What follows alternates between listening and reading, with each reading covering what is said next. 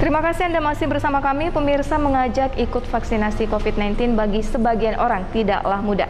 Sosialisasi untuk ikut vaksin dari pemerintah kadang disepelekan oleh sejumlah masyarakat. Namun sebagian ada juga warga yang punya semangat juang saat mengikuti vaksinasi.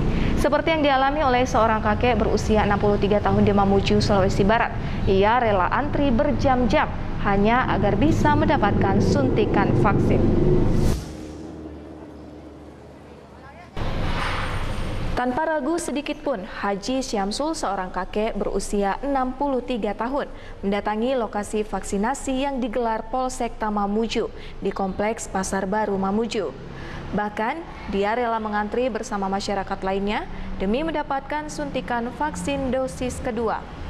Uniknya dari semua warga yang mengikuti vaksin di lokasi itu kebanyakan lansia Haji Syamsul mengatakan ia sengaja mengikuti vaksin agar bisa memberikan contoh kepada masyarakat lain bahwa vaksin COVID-19 itu aman dan bisa meningkatkan imun tubuh agar bisa terhindar dari COVID-19. Untuk menjaga diri, melindungi kesehatan kita sendiri.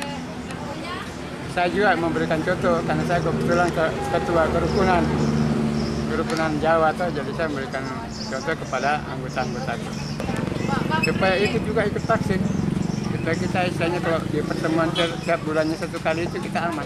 Vaksinasi yang digelar Polsekta di Pasar Baru Mamuju menyasar sejumlah warga, khususnya bagi pedagang umum termasuk pelajar dan lansia, dengan menargetkan 500 dosis per hari.